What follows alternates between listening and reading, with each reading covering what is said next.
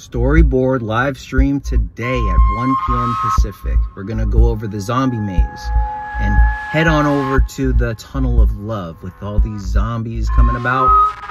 Come check it out. Yo, I did like 15 takes on that.